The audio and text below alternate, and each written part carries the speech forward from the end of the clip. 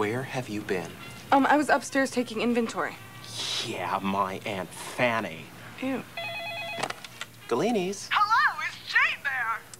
Yes, she is. God, I'm gone for one day. The place turns into Indonesia.